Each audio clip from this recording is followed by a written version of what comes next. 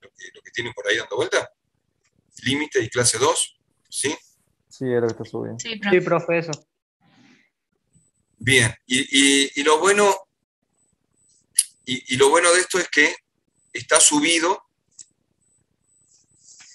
y ya entendieron dónde se va a buscar el material. Ya en la segunda clase entendieron dónde está, el- dónde está el material. Y, y también en la segunda clase entendieron que, la que eh, no hace falta que les ponga el link. Esto es recurrente, esta reunión. Todos los días 18.15 se va a abrir este yo o no. Y eso es un problema, esperemos estar. Para eso está el Telegram. Yo en el Telegram espero que todos estén conectados eh, al canal de Telegram. Yo al Telegram les voy a decir, muchachos, hoy la clase no hay, hoy la clase es a las 6, hoy la clase es a las 9. Digo, eh, hoy no subí el material porque la, Moodle no anda, suele pasar. Y bueno, y vamos trabajando de, esa manera. Bueno, ya estamos todos, nadie va a subir más, a 33 son buenas.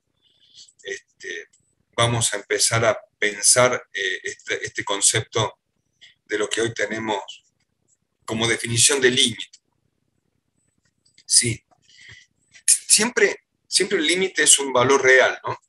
Entonces, cuando hablamos de límite, decimos que el límite de una función es un valor real. El límite, leo la, definición, es un valor real L. Cuando el punto xy, un punto genérico, xy, cualquier punto, un punto xy, ese que estoy dibujando aquí al costadito, pero por ponerlo en dibujo nada más, ¿no? Un punto genérico, xy, tiende, tiende a un punto, y digo tiende y no le hice una línea recta, es a propósito, no es recta esta línea, tiende a un punto P0 que tiene coordenadas x0 y 0. Es decir, el punto genérico tiende a otro punto que lo llamamos x0 y 0. La tendencia me dice que nunca el punto va a llegar, el punto P va a llegar a valer P0, ni las X van a valer X0 ni las Y van a valer Y0, sino que tengo una tendencia de llegar a esos valores. Tratan de llegar a esos valores. Y eso se define de esta manera.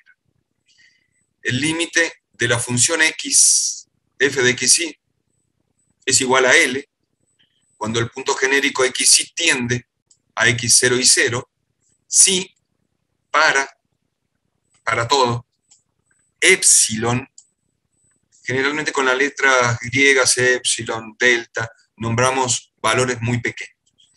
Mayor que cero, o sea, es pequeño, pero a su vez es mayor que cero.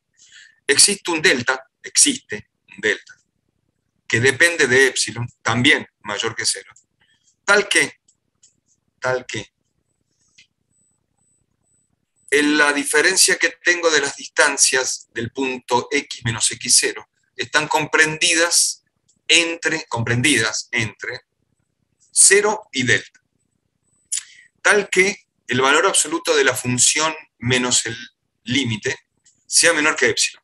Eso dice, ¿no? O dicho de otra manera, verifique que el valor absoluto de la diferencia, el valor absoluto de la diferencia entre la función punto de partida y el, verdadero valor del límite sea menor a un número epsilon, ¿no? como si fuera un entorno reducido del punto. Esa es la definición del límite. Vamos a ver, ¿hasta ahí la pudieron leer de esa manera? ¿La pudieron interpretar de esa manera? Tiene diferencias con el análisis 1. Una de las diferencias es que el epsilon depende del delta, o sea que el, que el epsilon es función del delta. La otra diferencia es que el punto P tiende al P0 no por una línea recta, no necesariamente una línea recta, y que habla de, un, de entornos reducidos, tanto en los delta como en los epsilon. Voy a abrirle la puerta al gato que está hablando ahí abajo. Hola gato, ¿estás hablando? Sí, a ver,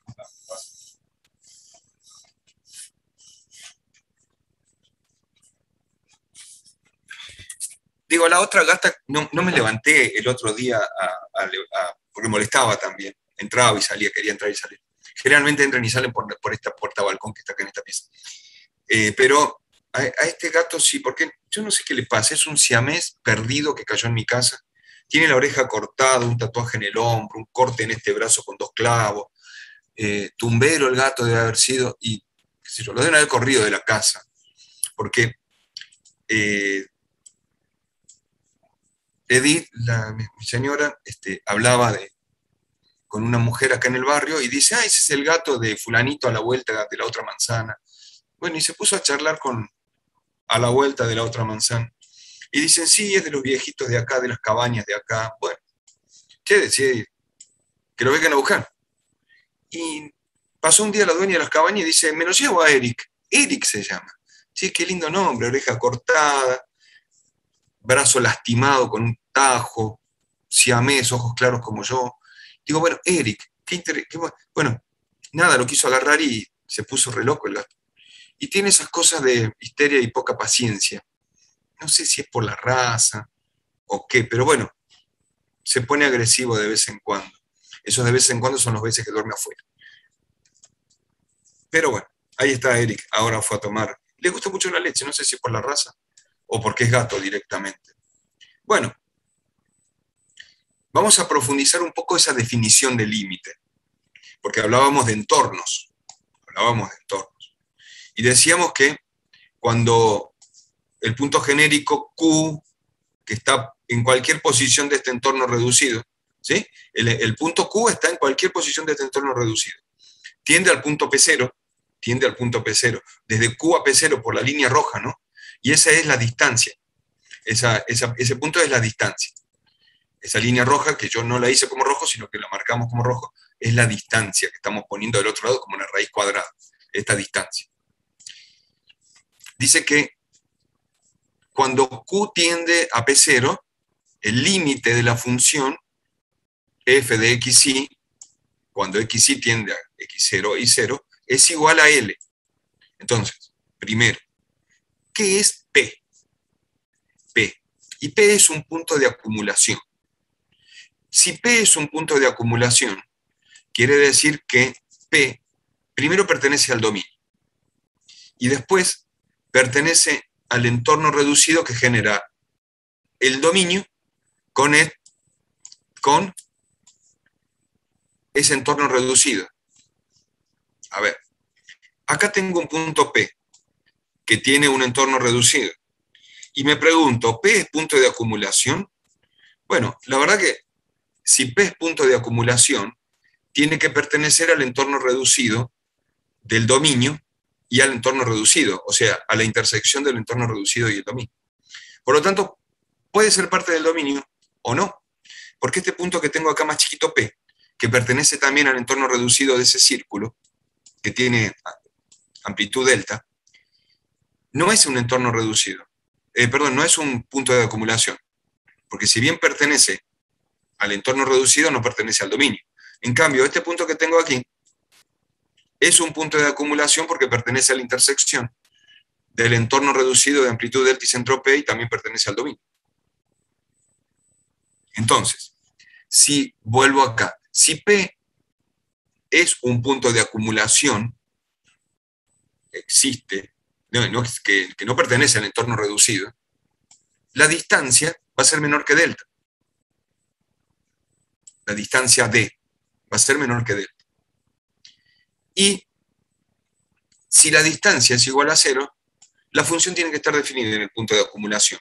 Porque entonces, P no es un punto del centro del entorno reducido, sino que es un punto de acumulación de un entorno, de un entorno ¿Cuál es la diferencia entre entorno reducido y entorno?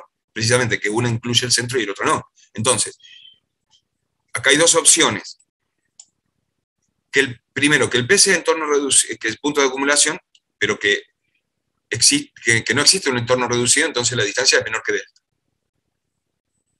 O que, si la distancia es cero, el punto de acumulación es un punto de la función definida. Bien, son dos cuestiones para poder definir el punto P. Porque el punto P puede ser un punto vacío. Entonces, si es un punto vacío, la distancia está entre 0 y delta. Si no pertenece al entorno reducido, es menor que delta. Y la tercera opción es que si está definido, la distancia es 0. Porque eh, eh, Q tiende a P y P es un punto fijo. Bien. Ahora, volvamos a la definición del límite, pero no hablemos ahora del entorno reducido de P.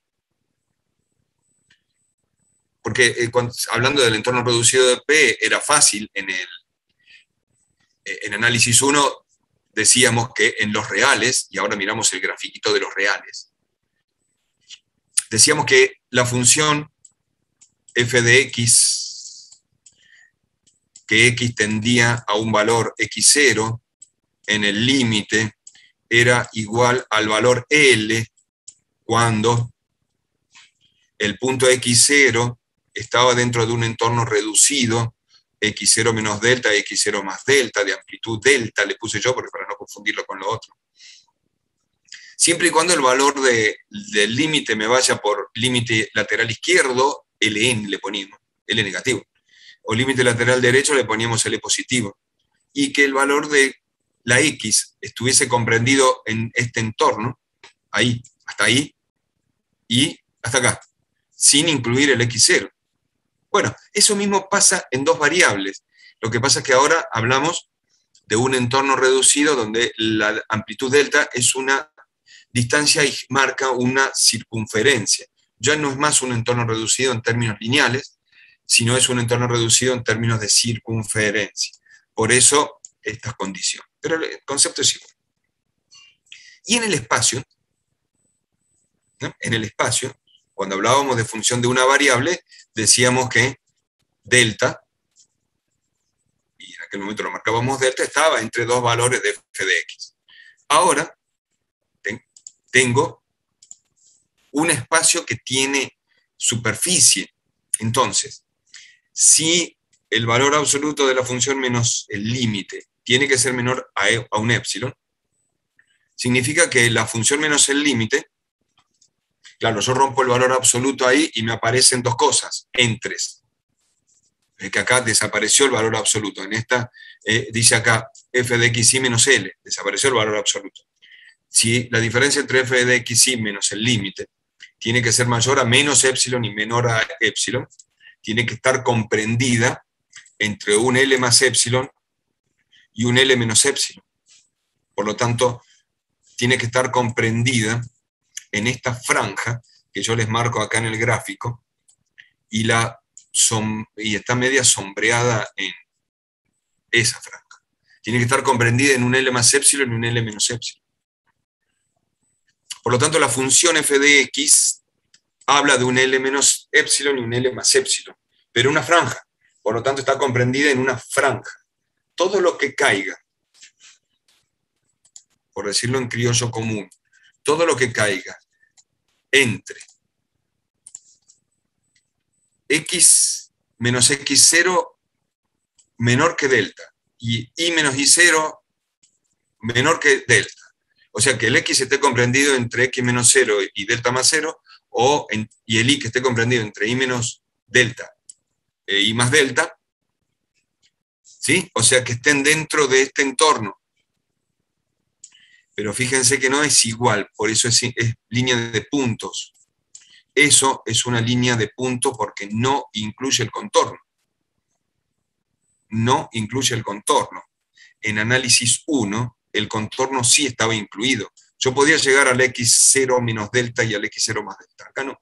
Acá es menor o igual. Y acá se genera esta, este cilindro de posibles valores comprendidos entre esa franja. Es decir, que el límite está incluido en esos valores. Bien. No es fácil interpretarlo, espero que lo podamos haber interpretado, ni tampoco es fácil escribirlo. Pero me parece que si le pegan una leída y lo escriben a la definición van a poder avanzar en eso. Bien. Como, como para poder pensar en el límite. Yo tengo que ir. ¿Van bien hasta ahí? ¿O se me están durmiendo? Bien, bien. Bueno, como para, esa es lo que acabo de, de explicar en estas dos diapos, es la definición del límite en dos variables. Es la definición y los conceptos que de la definición se desprenden de dos variables. Concepto parecido al de una variable con algunas cuestiones por ahí. Resulta que si P es un punto de acumulación, vuelvo a esto, P es un punto de acumulación que pertenece a un entorno reducido,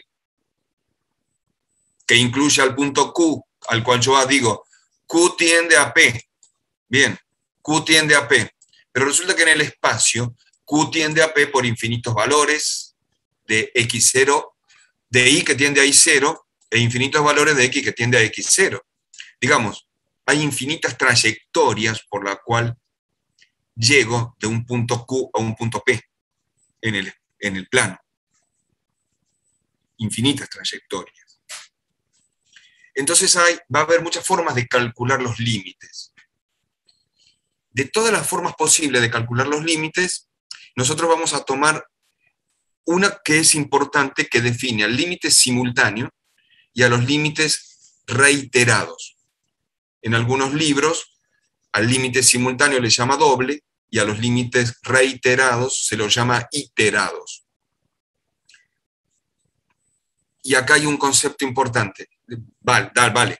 Eh, si, le llamo simultáneo doble, no importa, pero si y le llamo eh, eh, reiterado o iterado, no importa. lo importante es cómo calculo esto, cómo lo calculo.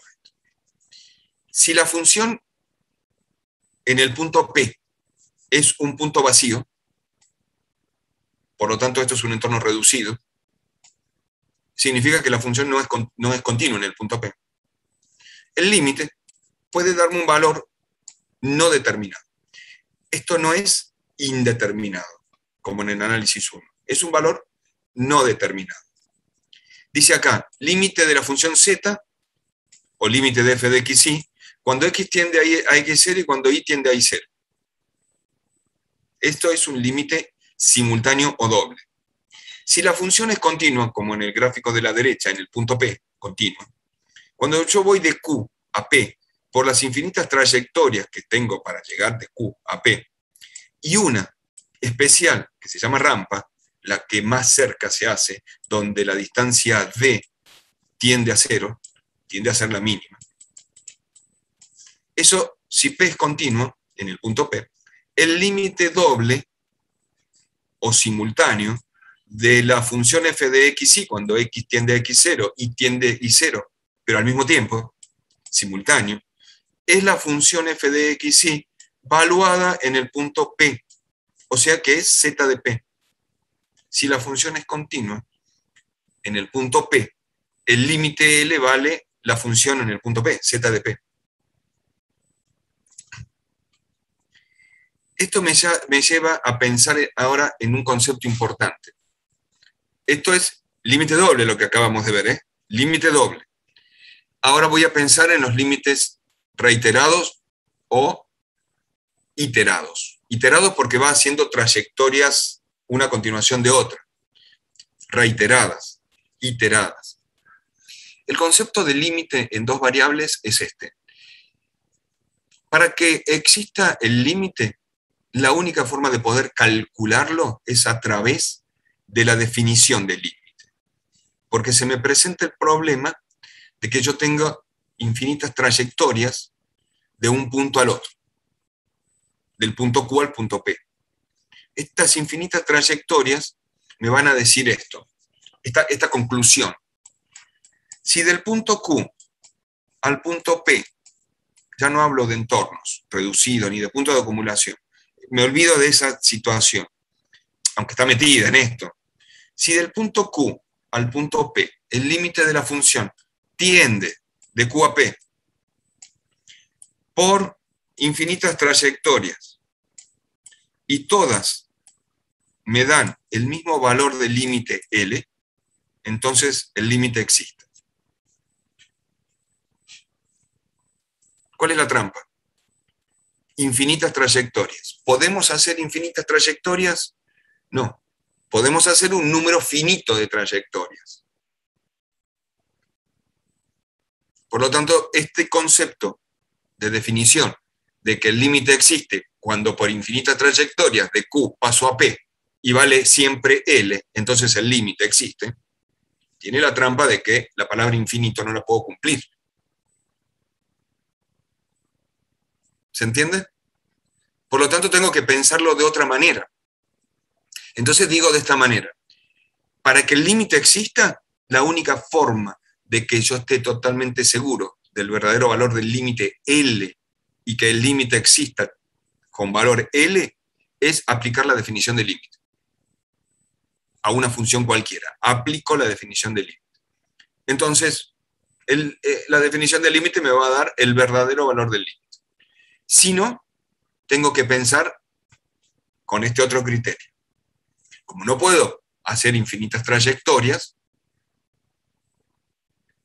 voy a decir de esta manera. Si yo tomo límite por dos trayectorias diferentes, de P a Q, digo de Q a P, perdón, perdón, de Q a P, si yo tomo límite por dos trayectorias diferentes, de Q a P, cualquiera, dos diferentes, y los límites son distintos, estoy completamente seguro que el límite no existe.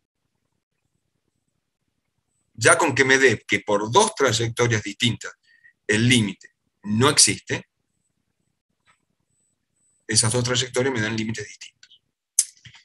Eso es un, un concepto. Ahora, ¿cómo sé yo cuándo el límite existe? Por la definición, o haciendo las infinitas trayectorias de Q a P. ¿Puedo hacerlo? Dijimos que no. Entonces, ¿cómo, cómo sé yo cuando el límite existe? Y lo digo de esta manera. Cuando por dos trayectorias distintas, L1 y L2, el límite de valores iguales y además iguales al límite doble, iguales al límite doble, puedo pensar en que el límite tiende a ser el valor R, en este caso. Así que como conclusión de los límites, digo, si dos trayectorias me dan distintas, yo firmo, afirmo, confirmo que el límite no existe.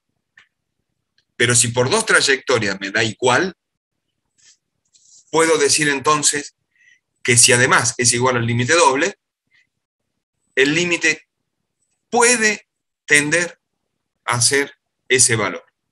Nunca lo voy a decir con certeza, ¿no?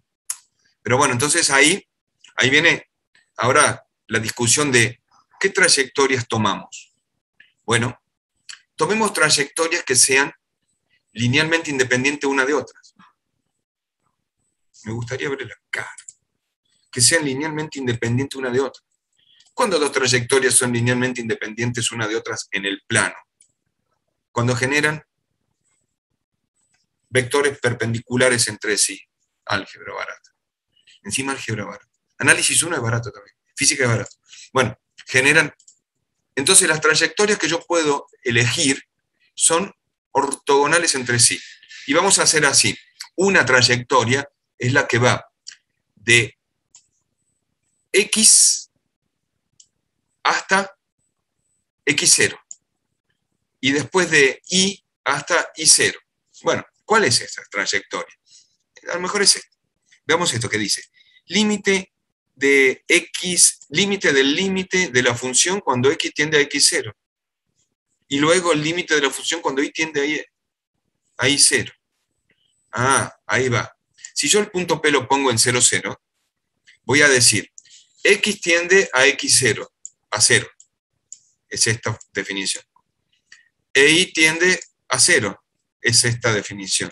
Por lo tanto, la trayectoria L1 es esta.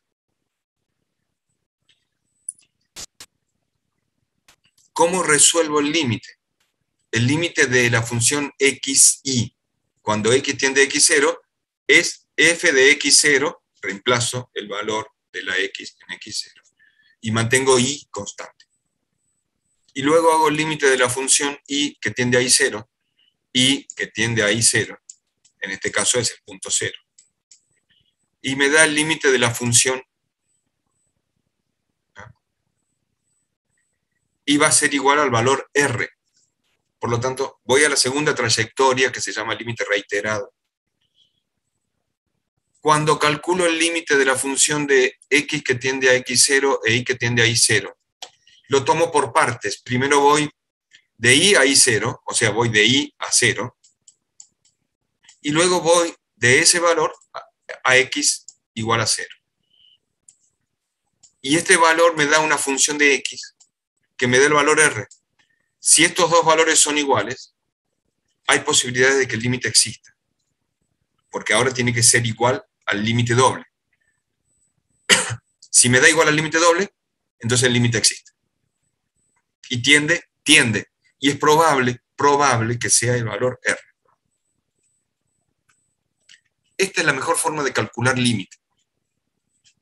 ¿Cuál es la otra forma de calcular límite? Porque a veces el límite simultáneo doble o el límite reiterado iterado solo resuelve un 80% de los problemas que hay en el análisis 2 en términos de límite. Entonces, hablamos de otro. Por ejemplo, hablamos de poder calcular límite con haz de rectas. Es decir, las infinitas trayectorias que hay de Q a P, las podemos a definir como si fueran infinitas rectas dentro de ese entorno reducido que involucra al punto P, que tiene amplitud delta y que es un punto de acumulación porque pertenece también, digo, al entorno y al dominio de F. Y ese haz de rectas es ir por los infinitos valores de pendiente M para ir de P a Q. Digo, para ir del punto genérico Q, ve que hay un error acá, de Q a P. Ahí debería decir Q. Estamos hablando del punto genérico Q al punto P sub 0. ¿Eh? Corrijan ese dato que es el punto genérico y le estamos llamando Q. De Q a P. Haz de rectas o haz de tangentes, lo vamos a ver, algún ejercicio seguramente sí, pero sepan que hay otros métodos para calcular límite, que no es solamente el límite doble y el límite reiterado. ¿Eh? No, no, no, solo el límite simultáneo y reiterado, sino que hay, otro, hay otras partes. Bien. Así como, uy, qué cantidad de, de, lenguaje matemático y pocas letras, ¿eh? poco castellano. Pero el concepto es el mismo que en análisis 1, con algunas siempre delicadezas ¿no? de lo que estamos haciendo. Eh, con algunas delicadezas. Cuando una función es continua, pero en el espacio, o sea, multivariable. ¿Cuándo se da la continuidad de una función multivariable? Bueno, la función tiene que tener varias, varias cuestiones para ser continua. En el, en el, yo siempre, y ustedes hagan lo mismo, en física, todas las materias que sean de razonamiento, que son el 90% de lo que ustedes estudian, traten de pensar en lo último que saben del tema que están viendo, o lo más cercano al tema. Si hablamos de función multivariable, de, de continuidad, se les viene a la cabeza los que vieron en análisis 1. ¿Cuándo una función es continua en análisis 1? Cuando la función existe en el punto, cuando eh, el límite por derecha y por izquierda existe, y por lo tanto existe el límite en el igual.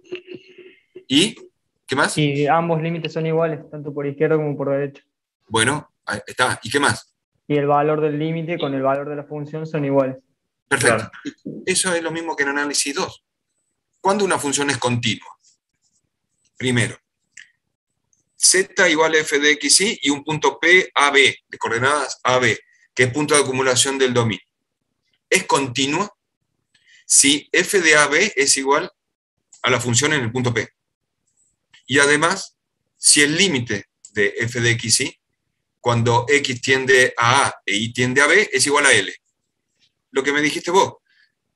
Pero para, para esto, ¿cuándo, ¿cuándo es continua? Cuando la función es igual al límite. Bien. Vamos ahora a despedazar un poquito eso. A despedazar un poquito eso. Para que la función sea igual al límite, primero, y digo, uno de los, de, los, temas, no por empezar por este, pero uno, tiene que existir la función y tiene que ser igual a R. Doy condición de existencia a la función. Segundo, tiene que existir el límite doble y ser igual a L. Pero para que exista el límite doble y ser igual a L, tiene que existir el límite por la trayectoria 1 y tiene que existir el límite por la trayectoria 2. Y estos valores que me dan R, ser igual a L. Entonces, ahora sí, voy de atrás para adelante con el razonamiento. Si existe el límite reiterado por la trayectoria L1, existe quiere decir que su resultado es un número real. Si existe el límite por la trayectoria L2 ortogonal entre sí y su valor es un R igual al anterior, puedo decir que el límite existe, doble, existe, como número real, y es igual a L, tal que R y L sean iguales e iguales a la función en el punto, que ya dije que existe y es igual a R como número real. Entonces, Siempre en matemática tratamos de, primero, dar condición de existencia, después dar condiciones de entornos, de contexto más que de entorno, porque entorno es otra cosa en matemática, de contexto, condiciones de contexto, y después decir que son iguales. Entonces yo cuando tenga que analizar la continuidad de una función, voy a tener que decir, por un lado, analizar la función. ¿Existe en el punto? ¿Es un número real en el punto? Perfecto. Vamos al límite. ¿Existe el límite por L1? ¿Es un número real R? ¿Existe el límite por L2? ¿Es un número real R? ¿Existe el límite doble? ¿Me da L y L es igual a R? Por lo tanto, existe el límite. ¿Existe el límite? Existe la función. ¿Son los dos iguales? Sí, entonces continuo. ¿No son iguales? Es discontinuo. En análisis 1, hablaban de continuidad de primera especie, segunda especie. En análisis 2, ¿Es continua o es discontinua? ¿Está bien? ¿Es continua o es discontinua? No hay especie. Lo importante en, esto de la continuidad es, no existe la función, es discontinua. Existe el límite, por lo tanto es una discontinuidad evitable. Yo puedo saber a la tendencia de la función en ese punto, porque tengo la tendencia del límite. Bien. es discontinua pero evitable. no existe la función, porque me da un número que es un infinito o una indeterminación. Ahora sí, el 0 sobre 0, el infinito menos infinito. Ahora sí la indeterminación tiene concepto. La función no puede tomar cualquier valor. Tiene que tomar un valor de un número real. Si la función vale un infinito, o un indeterminado, o un imaginario, se dice que la función no existe dentro de los reales. La función no existe, es un hueco. La función no existe. El límite de la función tampoco existe, porque lo saco por L1 me da distinto a L2. Por lo tanto, el doble ni hace falta que lo calcule. Ya sé que no existe. Porque por dos trayectorias distintas me da distinto, el límite no existe. No existe el límite, no existe la función. Es una discontinuidad no evitable. ¿Por qué? Porque no puedo saber lo que pasa en ese punto. No puedo saberlo ni a través de la herramienta de la función, que ya se acabó porque es indeterminada y no, o no existe, y no puedo saberlo a través de la herramienta del límite, porque no puedo saber la tendencia de la función en ese punto. Entonces, es una discontinuidad no evitable.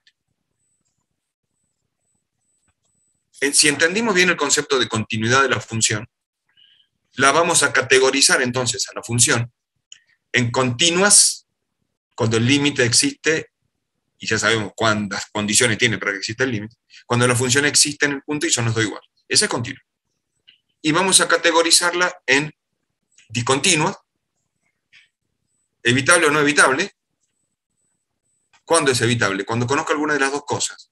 O la función en el punto o el límite que tiende en el punto. Y no evitable cuando no conozco ninguna de las dos. No conozco ni lo que pasa en la función ni lo que pasa en el, en el límite. Por lo tanto, necesito otras herramientas para ver qué valor toma la función en ese punto, o por lo menos saber la tendencia. Otras herramientas posibles, serie de funciones. Es una herramienta posible.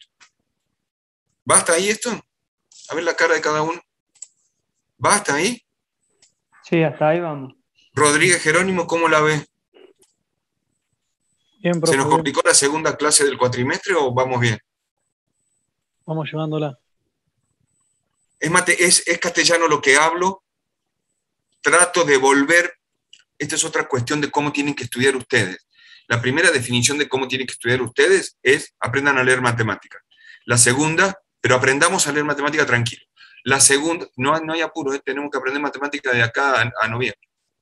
La segunda conclusión interesante de, de cómo manejar herramientas de conocimiento es, siempre parto de un concepto que conozco. Cuando hablé de límite, hablé del límite de una variable.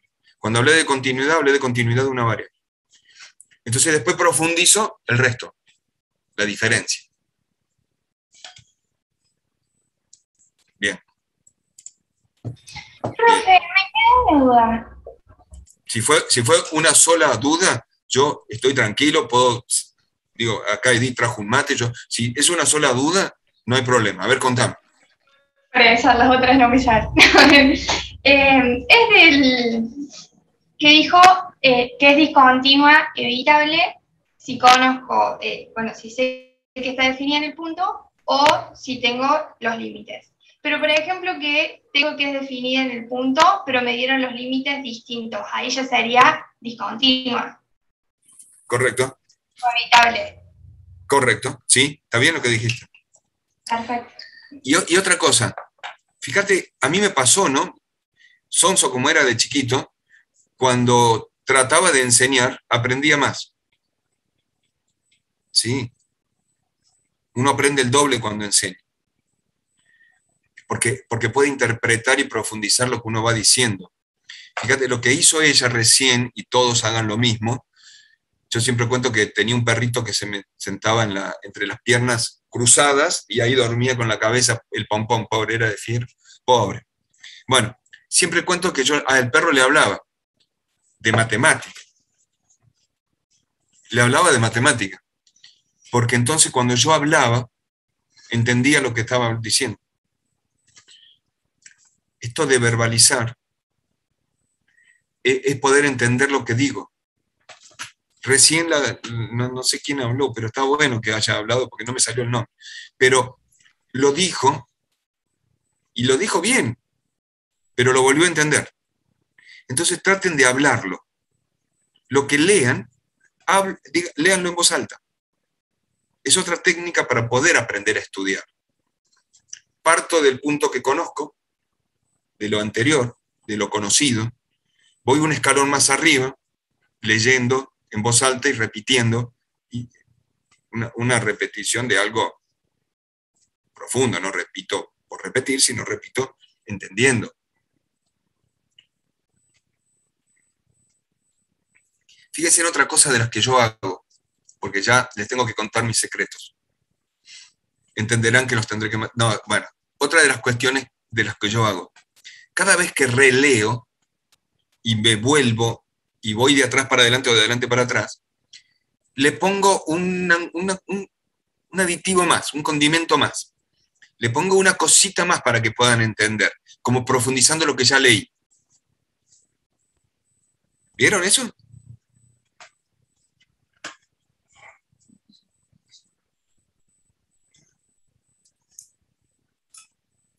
Técnicas de estudio, de materias duras, de materias para pensar. Lo que, lo que quiso decir, como agregar un poco más.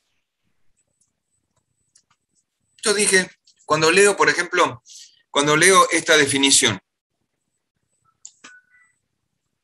la, y la, la leo desde el medio, la función f de AB es igual a z de p, a la función en el punto. Y por otro lado, el límite de la función es igual a L. Ahora lo leo de vuelta. Existe la función z de AB, existe la función como número real y su valor es z de p. Existe el límite de la función, límite doble o simultáneo, cuando x tiende a A e y tiende a B, y es igual a L. Y es continua si los dos son iguales. Acá está la importancia de este signo. Lo leí y lo profundicé. ¿Ah? No alcanza con decir, existe el límite. ¿Cuándo existe el límite? Cuando existe el límite por la trayectoria L1 y cuando existe el límite por la trayectoria L2. Y existe el doble. ¿Alcanza eso? No. Porque además de existir el límite por la trayectoria L1, debe valer un valor R. Y el límite por la trayectoria L2 debe valer un valor R. ¿Y cuándo existe? Cuando pertenece a los números reales. Ah. Y existe el límite doble y vale L. Está bien, pero no alcanza. Porque L tiene que ser igual a R. Voy una vueltita más. La existencia del límite es que L valga R. Y eso está escrito acá. No solamente está escrito acá, sino que ahí dice otra cosa más todavía. De que L valga R y sea igual a la función en el punto. Si no, L vale R y hablo del límite solamente. Pero para que darme continuidad yo tengo que compararla con la función. Entonces, la función existe como número real y vale ZP. Bien, y Ah, es igual a R igual a L. Ah, entonces ahí sí es.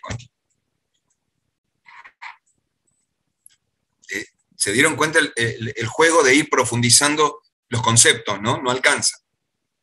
No alcanza. No alcanza con leer una sola vez. Y así van a aprender a estudiar otras materias también. ¿eh? No se crean que esto, esto es barato comparado con otras materias que puedan, de la especialidad química, que tienen muchísimas más cosas para poder interpretar qué es lo que pasa. ¿Sí? ¿Qué es lo que pasa?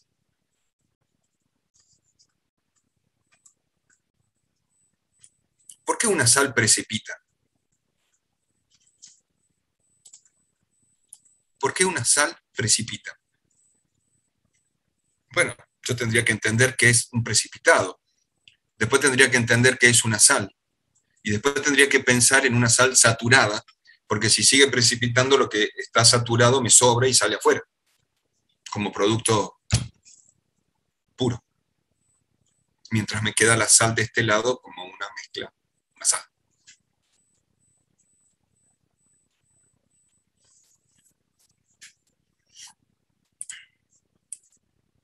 No, no, cuentan nada, no dicen nada.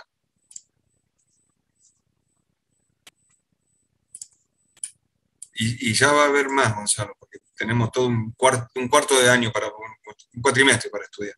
A ver, no vamos a definir derivada hasta que no, podamos entender. Y esto es otra cuestión, eh, eh, hasta que no podamos entender lo que son los incrementos.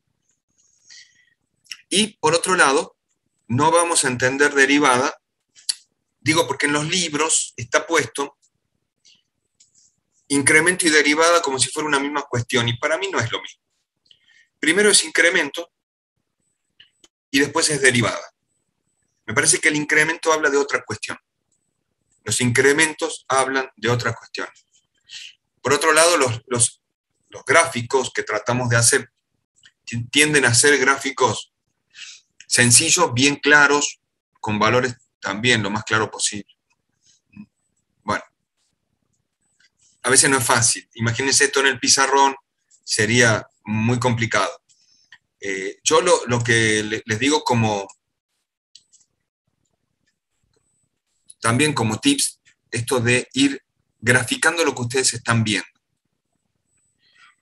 y lo que, van, y lo que vamos leyendo. Como si ahí no existiera un gráfico y yo iría de a poco tratando de graficar lo que ahí estoy pensando. A ver, yo tengo una función. Esta es la función. La superficie es la función. Z igual f de x.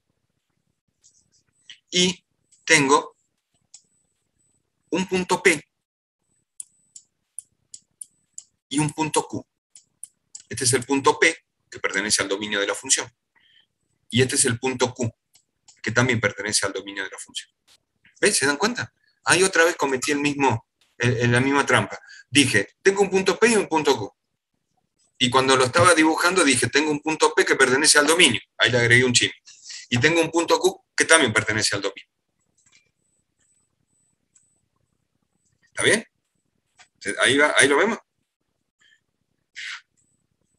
Ahora sigo, fíjate, el punto P tiene coordenadas AB. Y el punto Q, para este primer análisis, tiene coordenadas X y B. O sea que mantiene la misma coordenada Y. Ah, mantiene la misma coordenada Y. Por lo tanto, el punto Q está en la misma línea de P, paralelo al eje X. ¿Eh? Bien, bien. No es este punto que dibujé ahí arriba, sino que es la misma línea. El punto Q está en la misma línea. Pero lo que quiero ver es que yo estoy dibujando, vea que está en la misma línea. Ahí está Q, que tiene la misma coordenada en I. Ahora, voy a hacer pasar un plano. Un plano que contiene la misma coordenada I igual a B, constante. Y contiene a P y a Q.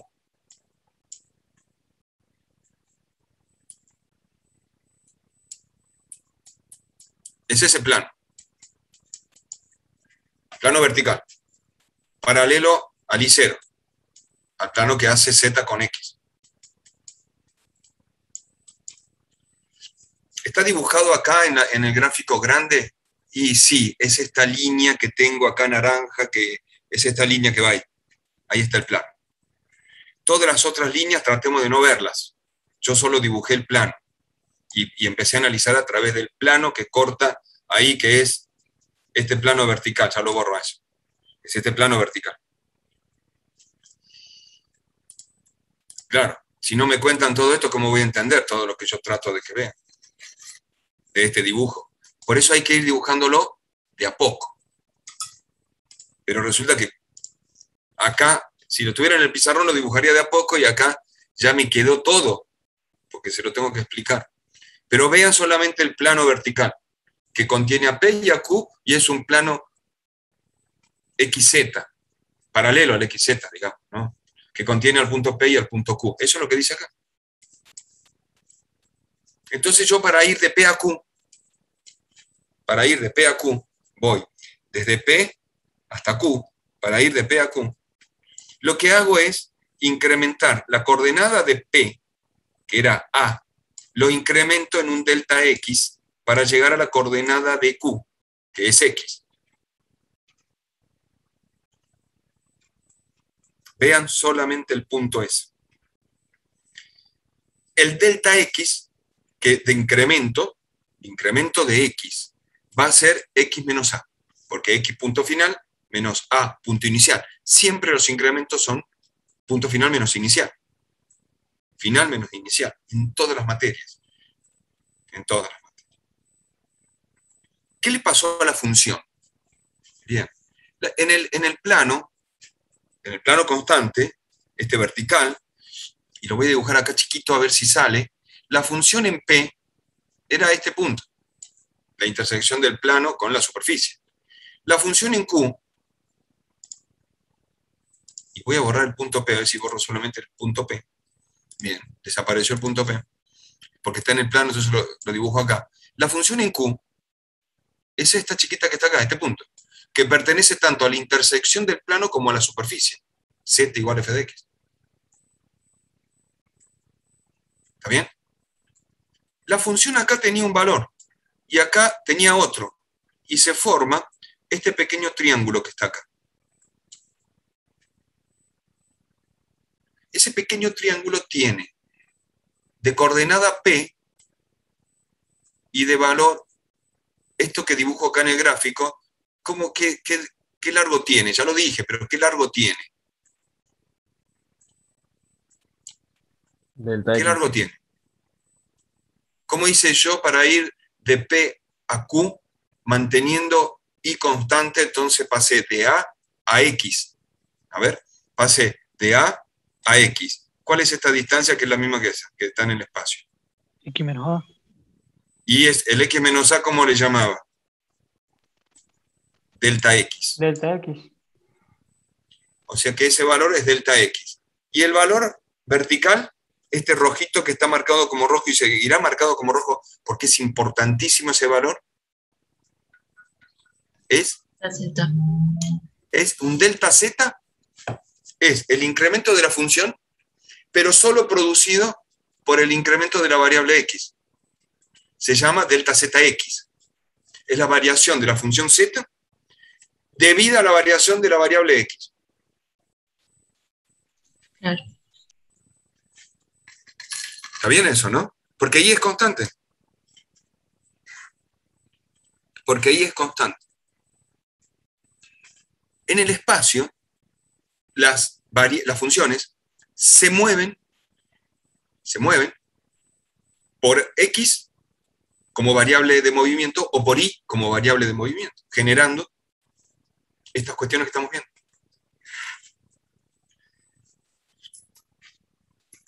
Ahora, vamos a escribir eso que dijimos. El delta zx, o sea, el incremento parcial, otra vez hago lo mismo.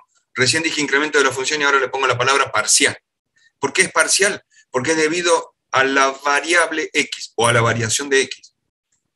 Todo incremento es zq menos zp, final menos inicial, porque hablo de z, ¿no? Hablo de alturas, variación de z. Si todo incremento es la función incrementada menos la función inicial. Entonces me va a quedar la función incrementada es la f de a más x, más delta x. La f de a más delta x, o sea, la f en q. Menos la f en p, que es la f de ab. Y esto es el incremento de la función debido al incremento delta x de la variable x. Le puse otra cosa más también ahí. Dije, el incremento de la función z debido al incremento delta x de la variable x. Se llama incremento parcial. ¿Está bien hasta ahí? ¿Se entiende? ¿Se- se- lo, vieron? Ah, Antes de, antes de olvidarse, antes de olvidarse, ustedes repítanlo, háganlo. Há- Háganlo porque así queda, queda como interesante, piénsenlo. De la misma manera, Jesús después de la cena tomó, no, esa no, esa parte no era, no. De la misma manera, voy a pensar ahora por separado a la función z,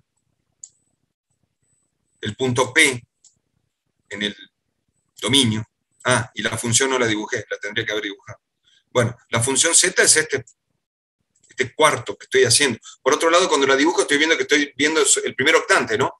Los otros octantes que hay por abajo y por atrás no los veo. Solamente veo los octantes positivos. Voy a ir del punto P al punto S, del punto P al punto S, así le llamamos. Ahora voy a ir manteniendo, el punto P lo corrí para allá para que me quede mejor dibujado, ¿no? porque tenía otra cuestión. Manteniendo el valor de I constante. Y voy a hacer pasar un plano que contenga tanto a P como a S. Y este plano, que contiene a P y a S, es un plano que, fíjense que ahora lo voy a dibujar más grande el plano porque tengo espacio, y contiene a P y a S, es este plano que está vertical acá. Cada vez dibujo mejor en, el pizarrón vir, virtual. ¿eh? Ese plano es este, precisamente este que estamos viendo acá, que va de P a S y hace esta rebanada. El término rebanada lo vamos a usar mucho. Hace esta rebanada. Ahora dígame la verdad, después de haber pensado el dibujo y de verlo como está, nadie hubiera pensado que podemos hablar tanto de un dibujo, ¿no? Pero bueno, eso es otra cosa. Acá, para ir de P, que tiene coordenada, eso, todo eso dice acá. Tengo una función z igual a f de x, un punto P, a, b, de coordenadas a, y un punto s de coordenadas a, por lo tanto, mantengo la coordenada A, quiere decir que voy a X constante, varío solamente la variable Y, quiere decir que acá hay una variación de Y. Ese delta Y es lo que el incremento de la función cuando va de P a S, manteniendo X constante. De P a S, manteniendo x constante. Y voy de P a S manteniendo x constante, por lo tanto este valor será delta I. ¿Y dónde está acá en el gráfico medio complicado? Para ver es este valor que está acá. Voy de B a I. Quiere decir que el delta I es I menos B. Y el punto S va a ser, tiene la misma coordenada A, pero la coordenada I del punto S, ¿cómo se obtiene? Y haciendo la coordenada B del punto P, a la cual le sumo delta I para llegar ahí. P más delta I. Entonces es un plano y sigo analizando el piso y sigo analizando lo vertical, no analicé otra cosa. Es un plano X constante, igual a A, paralelo al IZ, que contiene al punto P y al punto S. Y también contiene al ZP y al ZS. Ah, vieron que cuando ustedes pensaron que contiene al punto P y al S, estaban pensando en el plano. Y es cierto, estaban pensando en el plano X, X en el plano XY, en el plano Z igual a cero, en el piso, en el dominio. Es cierto que estaban pensando en eso. Y fíjese a dónde lo llevé yo. El, punto, el, plano contiene al P y al S, ¿correcto? Es, pasa por ahí. Pero también contiene al ZP y al ZS en el espacio, como intersección del, del plano con intersección del plano con la superficie. Este punto es ZP y este punto es ZS. Contiene al punto P y al S, pero no solo en el plano, lo contiene también en el espacio como intersección del plano con la superficie. Ahí arriba. ¿Qué les quiero decir? Pasar del plano al espacio es otro juego, ¿eh? donde tal vez el, el enfoque del pensamiento lateral me ayude. Pasar del plano al espacio es otro punto, ¿eh? es otro punto importante para analizar. Y ahí es donde tienen que jugar ustedes cómo, entiendo el espacio. Significa que acá tengo el ZP, este punto. ¿Qué es el ZP? Es la altura que tengo del punto P a la, a la superficie. Los Z son alturas, son cotas. El ZS, ah, acá está, es la altura que tengo contenida en el plano, sí, contenida en este plano que yo dibujé acá. Bien. El valor que tengo sobre, el paralelo al eje, este valor, ¿cómo, ¿qué distancia hay desde acá hasta acá? ¿Cómo la llamé a esa distancia? Similar a esta es, pero nada más que en el otro eje. ¿Cómo llamé esta distancia? Delta I incremento en I. Y esta distancia que está acá, que es la diferencia de altura entre ZP y ZS, la llamamos delta I, delta ZI. ¿Qué es delta ZI? Como dijimos en X, delta ZI es el incremento parcial de la función Z debido a la variación de I. Debido a la variación de I. O sea que tengo dos dos tipos de incrementos parciales. Dos tipos de incrementos parciales. Eh, perdón, no me tendría que haber ido. Dos tipos de incrementos parciales. Los debidos a la variación de x y los debidos a la variación de y. Los debidos a la variación de x y los debidos a la variación de y. ¿Cómo traté de estudiar esos incrementos parciales? A través de planos y de movimientos. Mantuve una variable constante y modifiqué la otra. ¿eh? mantuve una variable constante y modifiqué la otra. ¿Qué me dio la modificación de una variable? Cuando modifiqué la otra, un incremento parcial. El que estamos hablando es el incremento parcial de la función z cuando se mueve delta i. O sea que es el incremento parcial de la función debido a la variación i. Será la diferencia entre los zs y zp. Función incrementada menos función sin incrementar función inicial menos función, función final menos función inicial. Será f de a, b más i, la coordenada de la función s, menos la función f de ab, la función original, zp. Estos son los dos incrementos. ¿Va por ahí? Incrementos parciales. ¿eh? Profe, Sí, Micaela. el- en el último que estuvimos viendo, ahí queda ahí constante, ¿no? En el último que estuvimos viendo queda X constante. Fíjate, queda este valor de X constante. Esto que yo veo acá es X, la coordenada del punto P que es A. A está acá y A también está en el valor de, de S. Mantengo el A constante. ¿Ah? El otro era I constante. Este punto es I constante. Ese plano es I constante. Hay que leerlo, escribirlo y repetirlo. Pero ahora, debido a que los incrementos en X y en Y generan variaciones de alturas en Y y en X, la función pasó del punto P, acá estoy en el plano ahora, del punto P al punto Q, manteniendo I constante, ¿ves que estoy manteniendo I constante acá? Me voy en I constante. Y el plano que contiene a los dos es este plano que dibujo acá. Este plano vertical. ¿eh? Mantiene I constante. Y cuando mantengo I constante, se generó el delta X. Pero para ir de P a S, mantuve X constante y tengo el plano vertical, ahí está, el vertical ese que veo ahí no lo voy a rayar, va, sí lo voy a rayar. Contiene al punto P como inicial, ah, otra cosa, y contiene al punto S, y después continúa el plano. Pero la intersección es precisamente esa, ese, eso vertical ahí, esa pared vertical, paralela a la pared del fondo.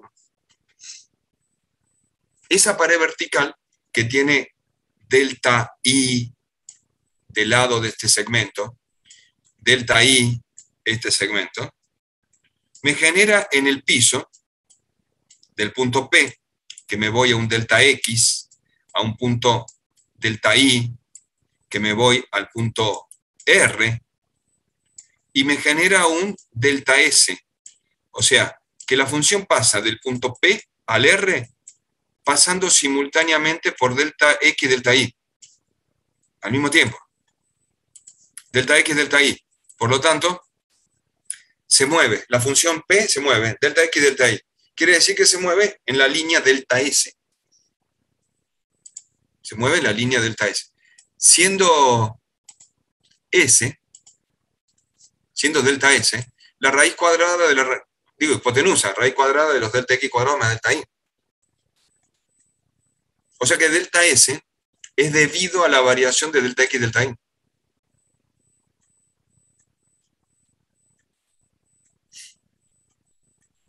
Entonces el punto P pasó de AB a R. ¿Y el R cómo se construye? Y de la coordenada A del punto P le incrementé delta X. Y de la coordenada B, la coordenada B del punto P, le incrementé delta Y. Entonces, A más delta X, B más delta Y. Y llegué al punto R coordenadas. Me moví en la calle. Dos cuadras por un lado, una para el otro. Llegué del P al R. En el espacio, ahora lo veo en el espacio. Al P lo levanto hasta que me toque la función. Al R lo levanto hasta que me toque la función. El P lo levanto hasta que me toque la función, tengo este punto. Al R lo levanto hasta que toque la función, tengo este punto. Borro el plano de atrás, que me molesta porque ese ya lo expliqué. Ya expliqué el delta I, ya expliqué el delta X, ya expliqué el delta Y. Ahora me quedó que el P lo levanté y la función pasó del punto ZP al punto ZR. La función pasó de este punto a este otro en el espacio. Por lo tanto, tengo vertical acá un delta S. perdón, horizontal, un delta S.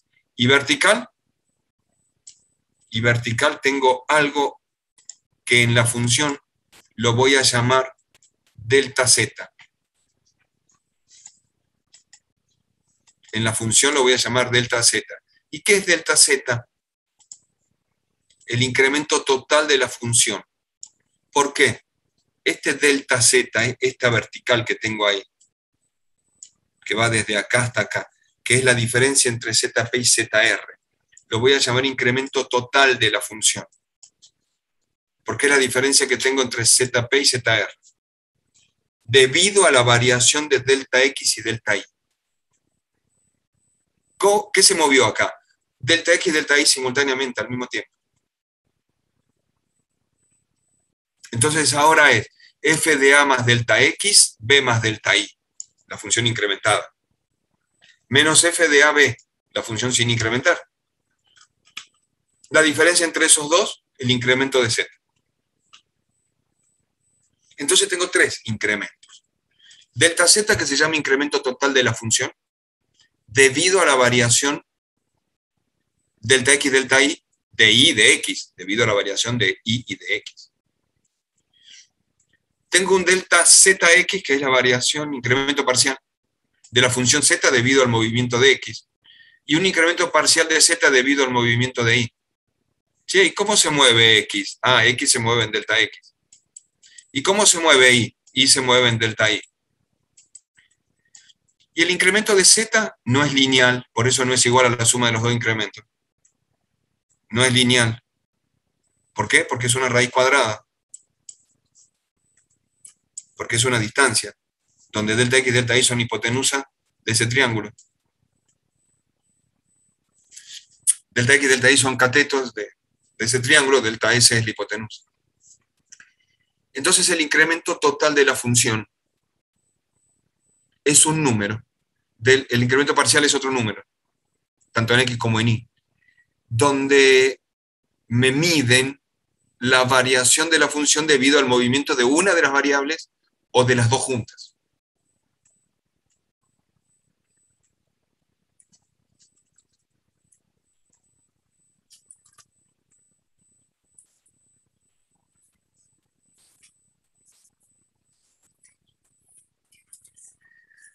Pensemos, dibujen y piensen, lean. Esto es lo que está en el apunte, ¿no? No les repetí más que lo que dijo Piskunov. ¿Alguna crítica o alguna duda? Con. Profe, ¿puede volver a decir qué significa eh, delta z de i? Lo leo, no solamente lo digo. Tengo un delta que se llama incremento de una función z debido a la variación delta x de la variable x. ¿Cuánto se movió x? Delta x. Entonces esto es el incremento de la función z debido a la variación de x. Acá está escrito, ¿eh? incremento de la, digo en la otra diapo, incremento de la función z debido a la variación de x. Era eso, lo que se movía es eso. El otro es incremento de la función z debido a la variación de y. Eso rojo y el otro es el incremento total de la función z debido a la variación simultánea de x y de y.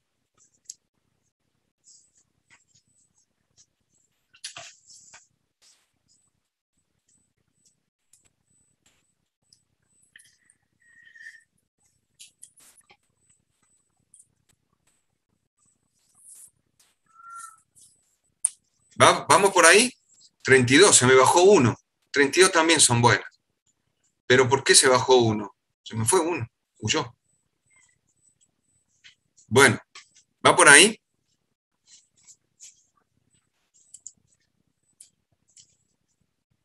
A ver, ¿quién se fue?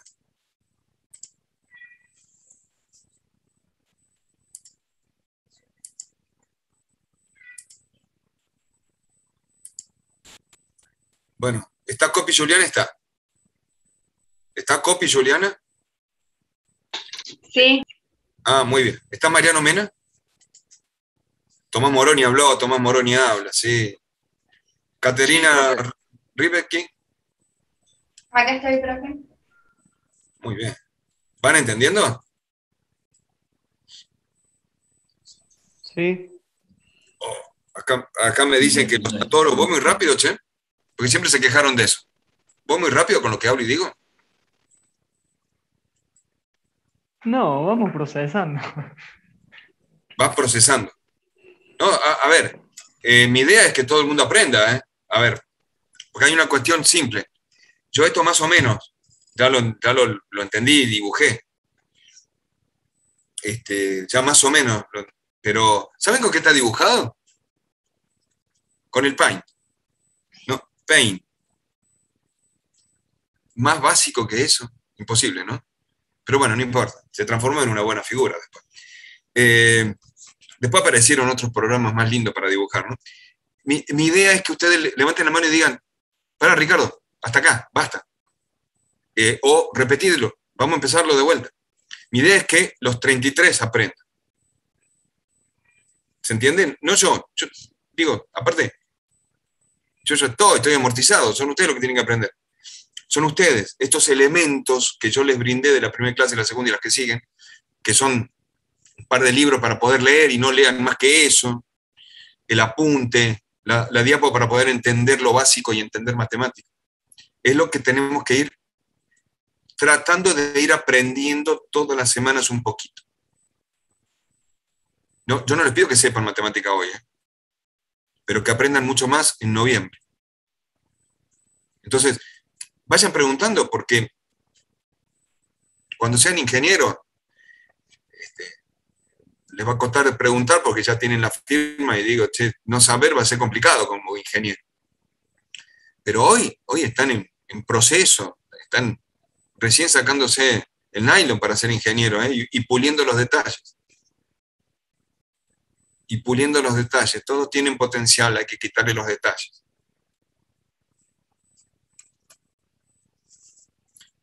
Así que pregunten, frénenme, si no van entendiendo, frenen.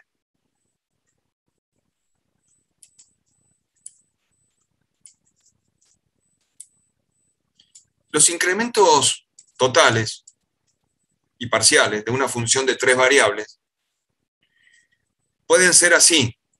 Si la función se mueve en delta x, en delta y y en delta z, es una función incrementada total. Es, fíjense en el último renglón, la función de x más delta x, y más delta y, z más delta y, menos la función original. Ese se llama incremento de la función total de tres variables. Pero si la función solo se mueve en una variable, voy a encontrarme con el incremento de la función debido a la variación de x, es cuando x pasa de x a delta x, e y y z permanecen constantes. Solo se mueve la variable x en delta x. Y así las demás.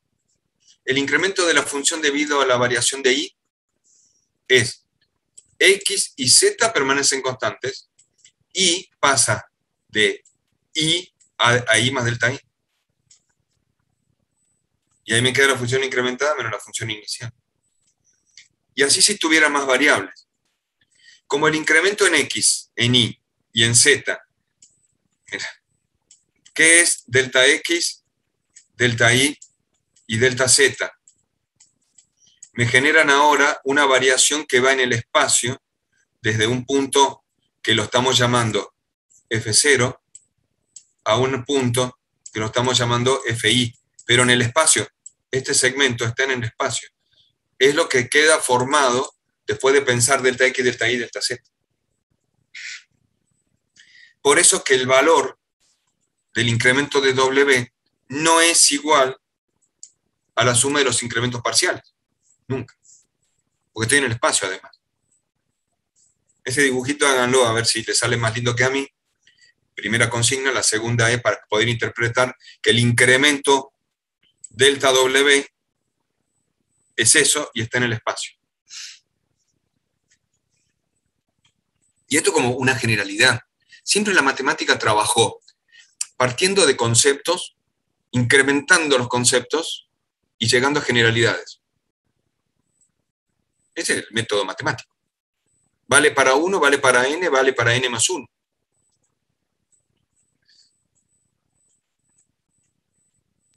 Profe, entonces eso siempre va a ser una raíz, la raíz de los cuadrados de esos incrementos parciales. Tal cual, sí, sí, tal cual.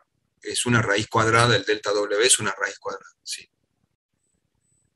¿Eh? O sea que yo, yo si le pongo acá la raíz cuadrada de la suma de los cuadrados de los catetos y le saco la raíz cuadrada y tengo la igualdad. Perfecto. Hoy quedó en la desigualdad.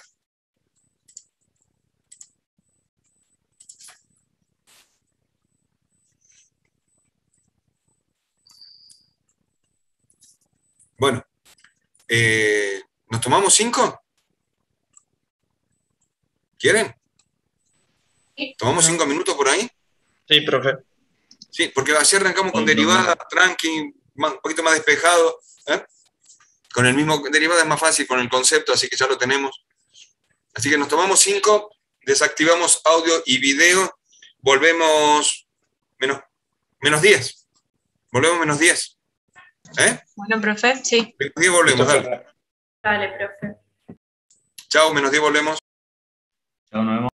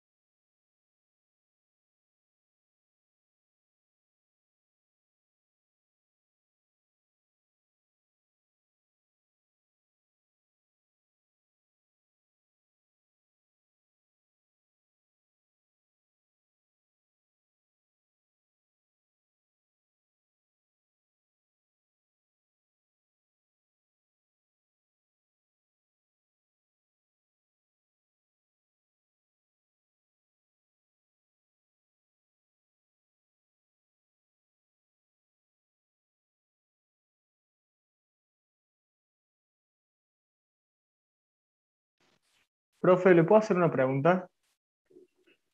Sí, vamos. Eh, en el apunte que usted no- nos dio, ese resumito, que está buenísimo, eh, no está lo de derivadas. ¿Lo va a subir después? ¿Puede ser? Eh, es cierto que no está así, ya lo subo, ya, ya se, lo, se lo subo. Dale, muchas gracias. solamente el pizarrón, ahora le subo lo de derivar, Claro, antes de irme. dale, gracias. Eh, sí, es cierto, lo que pasa es que estaba revisándolo para no tener, no tener errores como el Q y el P y esas cuestiones que confunden. Porque no, No, sé si les pasó a ustedes que cuando, cuando están estudiando algo y lo estudian mal, después es mucho más difícil corregirlo, ¿no? Porque como que en la cabeza tengo que construir co- un criterio y después deconstruir para volver a construir de nuevo otro criterio. ¿no? Primero, Y aceptar que, que está mal. También Claro. me ha pasado. sí, sí, es que es- es- son, son procesos de cabeza. Claro. Yo una vez enseñé mal en la secundaria una, un concepto de... ¿Cómo que Suelo mal? enseñar mal también. Qué sincero consigo mismo. Eh, porque soy casi humano. No, no, no, eh, suelo equivocarme. Este, perfecto Dios y los demás muy humanos.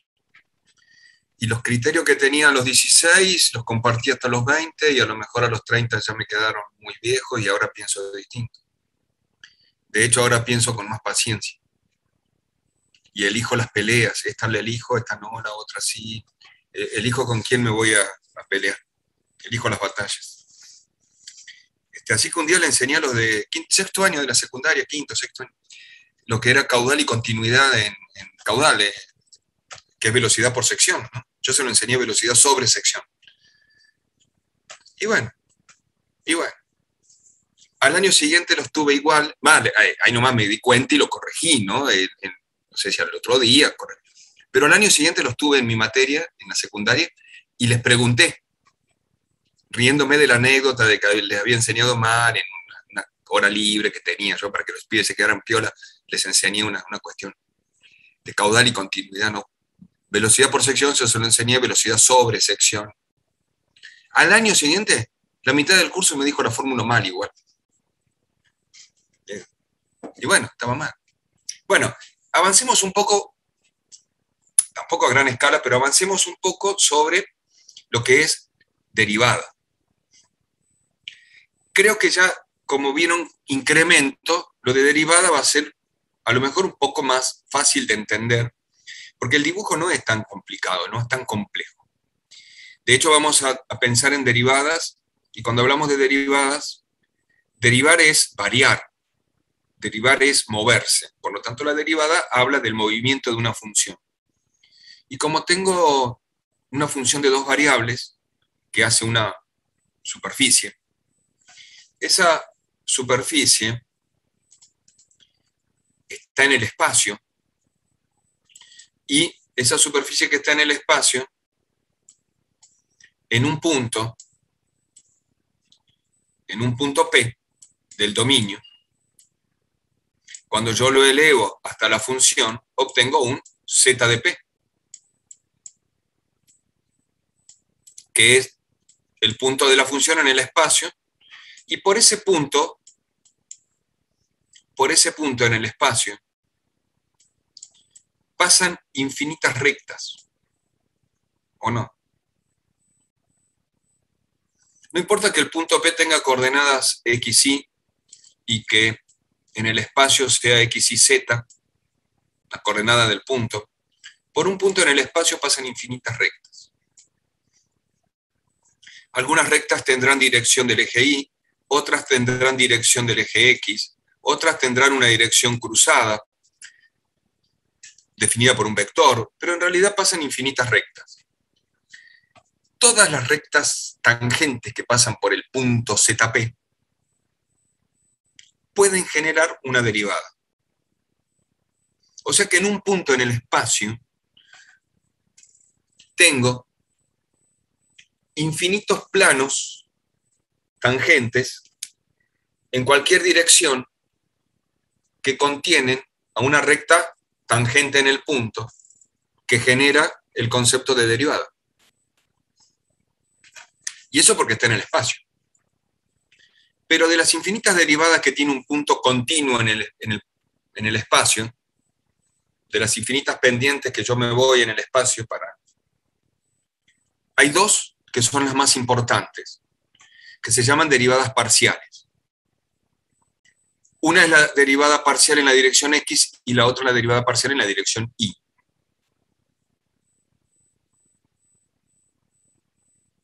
Y después, cualquier otra derivada, recta tangente, en un punto, contenido en un plano tangente, que genera una pendiente en cualquier dirección, esa se llama derivada direccional. Hay dos que son importantes, las derivadas parciales, y las demás se llaman derivadas direccionales. Las parciales son las que contienen la dirección de los ejes X e Y. Como la matemática tiene, punto aparte, punto aparte, como la matemática tiene un método para calcular derivadas, y es el mismo método que en análisis 1, lo vamos a aplicar de esta manera para, para aprender lo que son las derivadas parciales. Tengo contexto de partida, condiciones iniciales, una función z, un punto p, x0 y 0, en realidad condiciones iniciales p de AB. En el plano esto está aquí, punto P, en el dominio que tiene coordenadas A y B. manteniendo i constante, manteniendo i constante, no está escrito en ningún lado eso, pero es, ah, no, sí, acá está escrito, mira. Manteniendo i constante, se incrementa x en un delta x. Por lo tanto, la función, el punto P, el punto P, de coordenadas AB pasa al punto Q porque incrementé el A en un delta X para llegar a X. Por lo tanto, en el espacio, el punto P pasó a ser el ZQ. El ZP tiende a ir al ZQ. y tengo el incremento de z debido a la variación de x, zq menos zp, que sería la función incrementada menos la función original. f de x más delta x, ahí tengo la función incrementada solo en x.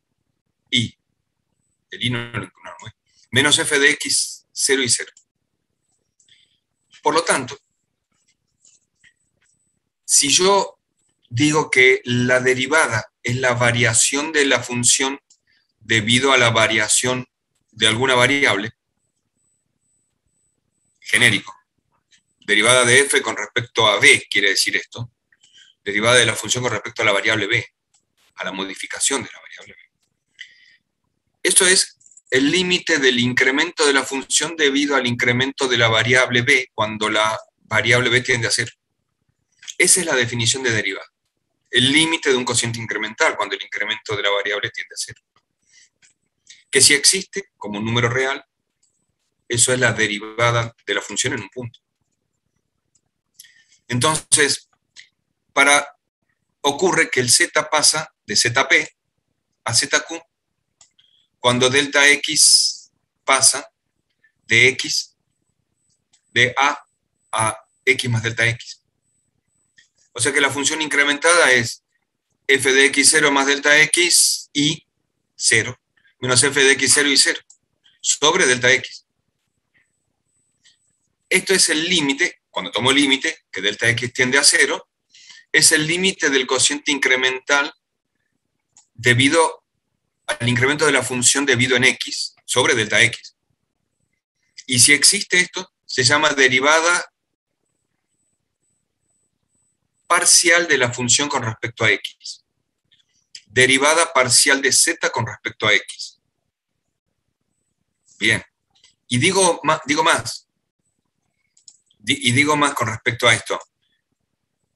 La nomenclatura de la derivada parcial que hicimos este procedimiento. Tengo la función, la incremento en delta x, obtengo el incremento de la función debido a x, lo divido por el incremento delta x, hago que delta x tiende a cero en el límite y si eso existe se llama derivada parcial. Bien, la definición entonces es el límite de este cociente incremental cuando delta x tiende a cero. Y les dije, ¿qué pasa con la nomenclatura? Esta- este símbolo es jacobiano, debido a Jacob. Los jacobinos, los jacobinos, era un grupo de matemáticos que estuvieron en Cambridge hace muchos años, 1600 al 1700, que quedaron, que se peleaban con los, eh, era, era Jacob, era Lawrence, ¿no? Era Newton después, y a Newton le decían que era jacobino. Era un grupo que tenía el conocimiento en, la Inglaterra del, del 1700, y, y bueno, estaban en la pelea. Pero este símbolo es Jacobo, es un, no es un delta, ¿eh? Eh, más bien es una J, Jacobo. Deri- derivada parcial de z con respecto a x. Digo, lo puse así para que vean dónde está la, la deformación del delta, Jacobo. Bueno, entonces este es el incremento, ¿no? Ahora, cuando yo veo, ahora vamos a la derivada parcial de la función, pero en i. ¿no? En i. En i, x permanece constante. Un, plan, eh, un plano x constante es este plano que tengo dibujado ahí, que es este plano rojito que quedó ahí pendiente, que tenía un p, lo incrementé un delta i, pasó a r,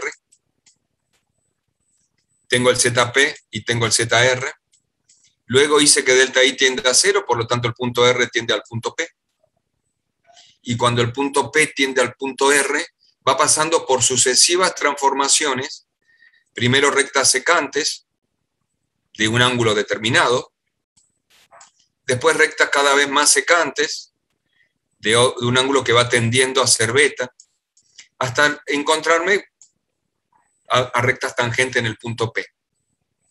Cuando la recta es tangente en el punto P, en el límite, eso se llama derivada parcial de z con respecto a i, en el punto P. Fíjense que acá no, expliqué lo mismo que la otra vez, que, que la página anterior. Porque en la página anterior decía yo, tengo un z, un punto del dominio P, de coordenadas A y B, incremento delta i, manteniendo x constante. Por lo tanto, la función pasa del punto P al punto R. Encuentro el incremento de z debido a la variación de i, zr menos zp, para x constante. Hago la definición de derivada como el límite del cociente incremental de la función debido a la variación, cuando el incremento tiende a cero. Formulo el cociente incremental.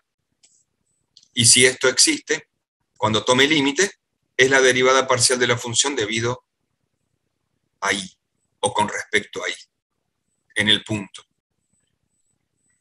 Digo, este procedimiento es análisis 1 para encontrar derivada. Pasos para encontrar derivada. Tiene una parte que es concepto inicial, de donde parto. Tiene una segunda parte que es desarrollo. Y una tercera parte que es la definición de lo que es la derivada parcial. Y en el gráfico se ve clarito. No pueden decir que en el gráfico no se ve claro porque estamos en el horno, sino.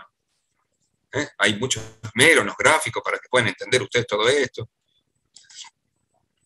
Y en el gráfico se entiende la recta tangente en un punto tiene un ángulo dependiente beta. La tangente trigonométrica de ese ángulo beta es numéricamente igual a la derivada parcial de la función con respecto a i. Pero por, por una construcción geométrica. La derivada es una tangente, ¿no? La derivada es una tangente trigonométrica de un ángulo. No. La derivada es un cociente incremental. Que el número de la tangente trigonométrica de un ángulo, pero no de cualquier ángulo, sino del ángulo que forma la recta tangente en un punto, y no de cualquier punto, sino eh, eh, tampoco de cualquier plano, sino un plano paralelo al X o paralelo al Y. Me da igual numéricamente a la, a la derivada direccional de Z con respecto a Y o de Z con respecto a X. Pero son cosas diferentes. Una tangente es un número. Un número. Una derivada también es un número. Si son iguales, entonces digo que la derivada es el número igual al número de la tangente, pero no, no es que la derivada sea una tangente. Bien. Geométricamente entonces, el cociente incremental tiene es la recta tangente que va del punto ZR, ¿ves? Va del ZP, pasa por ZR y forma un ángulo épsilon. La tangente de esta recta secante, porque pasa por dos puntos, ZP y ZR, la tangente de esta recta secante es el cociente incremental. Ahora, cuando ZP tiende a ZR, delta I tiende a cero, el ángulo epsilon tiende a ser el ángulo beta, entonces la derivada de la función en el límite es igual a la tangente de beta. O sea que una derivada parcial en I estamos viendo es la tangente trigonométrica del ángulo beta que forma la tangente geométrica en ese punto en ZP. Y en Y, digo, eso es en Y. Y en X, igual. En X igual. La derivada de la función ZX con X, derivada de Z con respecto a X, es la tangente trigonométrica del ángulo alfa. ¿Y cuál es el ángulo alfa? El que forma la recta tangente con el eje del plano XY. Y digo, así como lo analizamos, y esto es derivada parcial, su interpretación geométrica. Así como lo analizamos para una de dos funciones, la, vieron que entender derivada cuando yo entendí primero lo que era el incremento de la función en cada una de las variables, más fácil. Digo, porque cuando acá digo el incremento de la función en x, sé lo que estoy hablando. Porque ya lo entendí. Entonces, la derivada parcial de la función en x sigue siendo el límite del cociente incremental de la función en x con respecto al, incremento en x, cuando x, delta x tiende a cero. ¿Sí? Perfecto. Entonces, ya lo analicé ahora para dos, dos direcciones de las infinitas que pueden pasar por el punto P de las infinitas direcciones que pasan por el punto P. Lo analicé para la derivada de la función en X y le dije que esto era la tangente del ángulo alfa. Lo, analicé para la función en Y, la derivada de la función con respecto a Y, y dije que era tangente del ángulo beta. Y si la función tuviese más variables, o sea que vamos a forma genérica, más variables, esto es genérico, yo les diría que la derivada de la función con respecto a x, de una función de tres variables x y z, es igual al límite del cociente incremental cuando el incremento de la función debido al incremento de x para el incremento de delta x que tiende a cero, y eso geométricamente es la tangente de alfa. La derivada parcial de la función con respecto a y es la tangente de beta, cuando el límite del cociente incremental del incremento de la función con respecto a i, para el delta i que tiende a cero, si existe la derivada. Bueno, y lo mismo para la tangente de gamma si la función tuviese más variables, en forma genérica, más variables. Estamos ahí. Qué bueno. ¿Pregunta?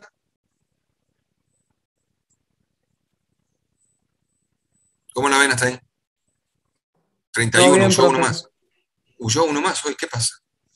31, 32, 33, nos contamos todos, estamos de vuelta como en el NIS. Pero me Es la palabra derivadas. ¿Qué? Es la palabra derivadas. Huyeron por la palabra derivada. ¿Qué vieron en el práctico estos días? Esto. Oh. Vamos Sí. rápido. Ah, sí, pero no es, o sea, es bastante distinto en el práctico. O sea, sí, hacer los ejercicios. pero- Claro, pero vimos hasta, eh, ya vimos derivados parciales y también vimos eh, Diferencial. diferenciales. Bien, bien, ya vamos a llegar a eso, no se preocupen, yo quiero que lo vayan entendiendo también. Igual Bien. vimos tanto así por el hecho de que la semana que viene, el lunes, no hay clases porque es feriado. Ah, ustedes Entonces, no bueno. hasta el lunes, claro. Pero el miércoles Claro, yo- entonces dijo que íbamos a ir más rápido, así no perdíamos la clase el lunes. Eso, eso porque el lunes no tiene, no, es cierto, no hay actividad el lunes. Bien. Sí, por suerte vamos a descansar un poco.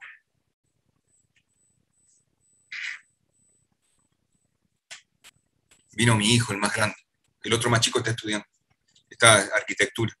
Último año. Ya creo que le quedan tres materias para el año que viene y rendir unas, también unas cuatro, tres. Y a este también, este le quedan Ahí estudió en la. Está menos 5, pero parece que viene menos 5 hace rato. No quiere terminar de rendir. Estudia, trabaja mucho, trabaja mucho. Hablando en serio, trabaja mucho. Pero ahí están, eh, a punto de. Bueno, vimos un tema fácil y uno difícil. Ahora recién vimos el fácil, nos queda el, el tema difícil, el tema que tenemos que pensar. Pero antes de pensar en esto, eh, dice teorema del valor medio. Que es el último tema que voy a ver por hoy. Ya les aviso, los amenazo. ¿Qué, es el valor medio para ustedes? ¿Qué es el teorema del valor medio? A ver, cuéntenme. Cuéntenme en dónde están parados ustedes con el teorema, del valor medio. Y yo voy a poner una hoja en blanco para un pizarrón en blanco. A ver, cuéntenme. No pude poner una hoja en blanco recién. Eh, ¿Qué es el teorema del valor medio? ¿Alguien, ¿Alguien se acuerda del teorema del valor medio?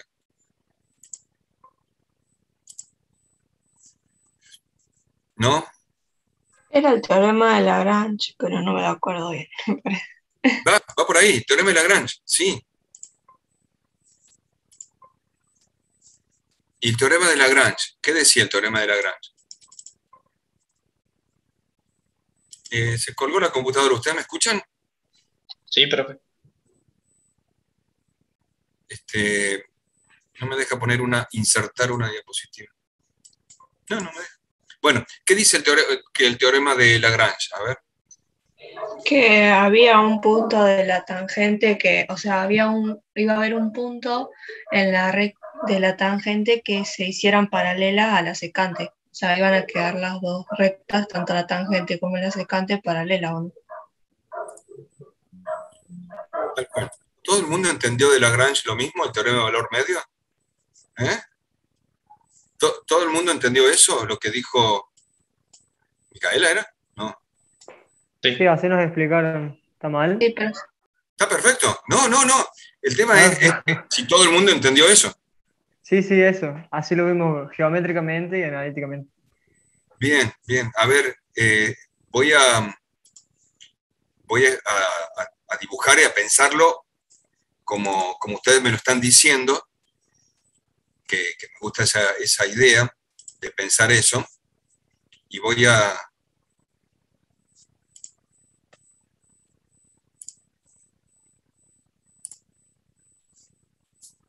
Voy a compartir una pantalla con un pizarrón en blanco. A ver si es cierto que ven un pizarrón en blanco ustedes, ¿sí? ¿Ven un pizarrón en blanco? Sí, profe. Sí, profe. Bien. El teorema del valor medio es lo que ustedes me decían, el Lagrange. Lagrange fue otro gran matemático, ¿no? Y los Lagrange, los Lagranges, fueron los que empezaron a desarrollar los teoremas de valor medio. Y el teorema de valor medio tenía en- en el- para el cálculo de una variable. Yo decía, tengo una función y igual f de x. ¿Eh? Tengo una función y igual f de x, que su gráfica es esta, que en un intervalo AB, en un intervalo AB, donde la función, primero el intervalo es cerrado, donde la función es continua y derivable en todos sus puntos. Así de más o menos decía el teorema. Y cuando yo lo estudiaba le ponía estos símbolos, ¿no? Eh, era y igual f de x en un entorno cerrado AB, continuo y derivable. Para poder interpretar lo que estoy diciendo. Existe un punto C, tal que f' de C es igual a f de B menos f de A sobre B menos A. Eso es lo que me decía Lagrange. ¿Qué me quería decir Lagrange? Yo lo analizaba por partes. f de B menos f de A es la resta que hay entre las funciones, entre la función valuada en A y la función valuada en B. Por lo tanto, es este segmento que está aquí acotado y eso me da el incremento de la función f de B menos f de A. ¿Qué es B menos A? B menos A es la diferencia que tengo delta X entre el punto A para llegar al B es B menos A. O sea que delta X es B menos A. Si quieren pueden ir copiando o sacándole una foto al final. Pero ¿saben por qué es bueno copiarlo? Porque van razonando a medida que van escribiendo. ¿Qué es el punto C?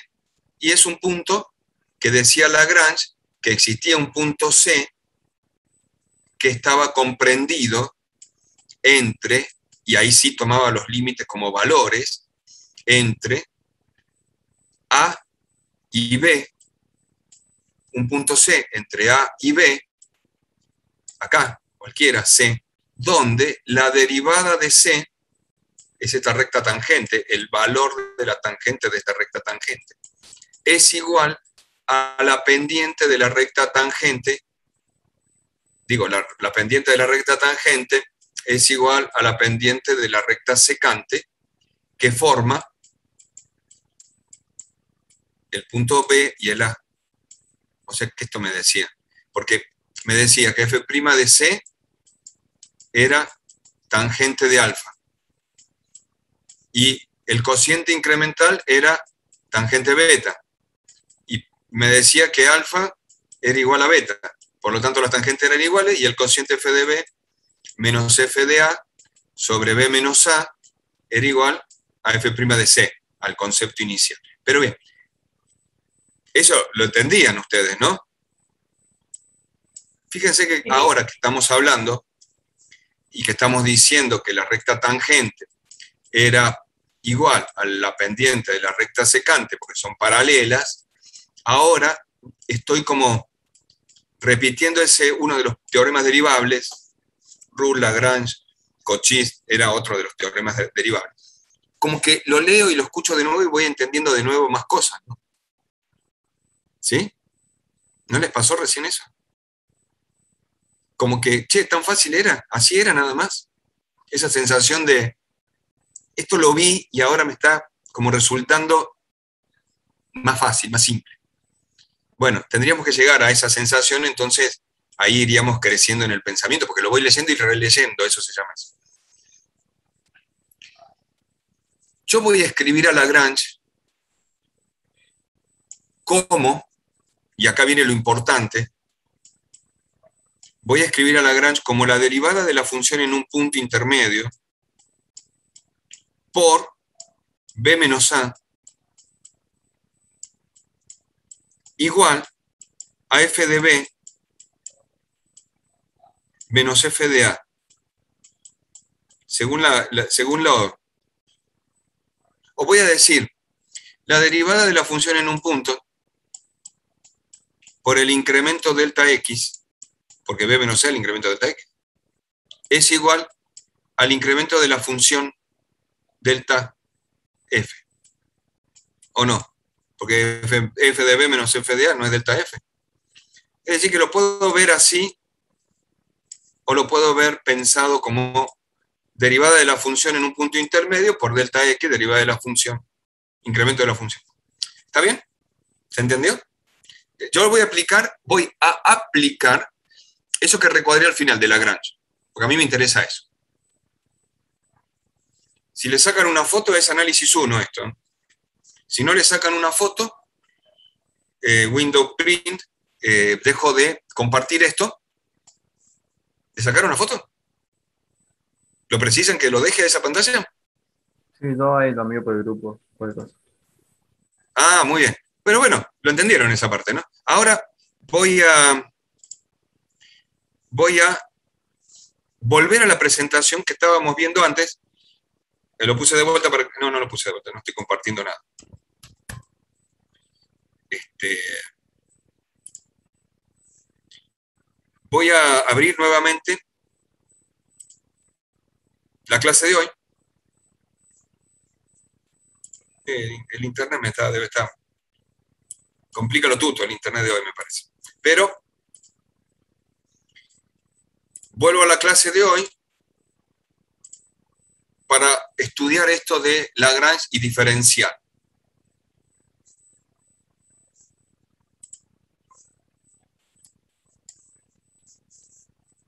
Y ya llego, ya llego. ya, tranquilo. Tranquilo que sigue abriéndose. Vamos por ahí. Estoy compartiendo, ¿no? Bien, ahora comparto.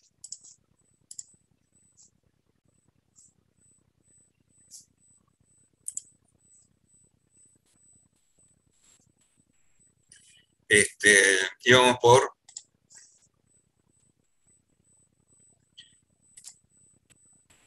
Ahí está. Eso es lo que tenemos que enseñar ahora y, y releer esto. Teorema del valor medio, pero para funciones de dos variables, y diferencial de la función. Teorema de valor medio y diferencial de la función. Vamos a ver. Vamos a partir de una función, y acá vamos al, mismo criterio de, hace un ratito, de dónde parto y, a, dónde quiero llegar. Tengo una función z f de x y y un punto p del dominio de esa función. La función z la veo acá eh, en el gráfico, es esa función, y si veo el punto p, lo veo en el otro gráfico, que es el entorno del punto p. Voy a hacer lo mismo que hice cuando hice integrales. De p me muevo a q con un delta x, manteniendo y constante. Manteniendo el i constante.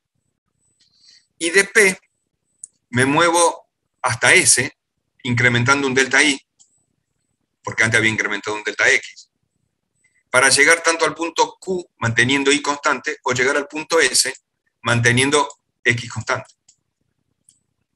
¿Se entendió eso? Hasta ahí vamos. Esas son las condiciones iniciales del problema mío.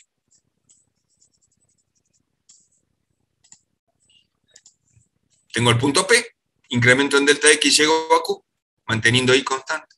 Tengo el punto P, en ese entorno reducido del dominio, llego a delta S, a, a S, incrementándolo en I. Por lo tanto, o, directamente hago de P a R, habíamos dicho, incrementando delta X y delta Y al mismo tiempo, simultáneamente. Y ahora sí se incrementaba en delta S. Miren todo lo que podemos hablar de ese